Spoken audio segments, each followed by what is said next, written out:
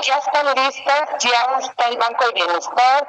Eh, prácticamente nada más estamos esperando que se ponga lo que es el mobiliario, niños héroes y niños atrás de lo que es el DIF municipal. Están desde el DIF municipal, está esa, ese Banco del Bienestar.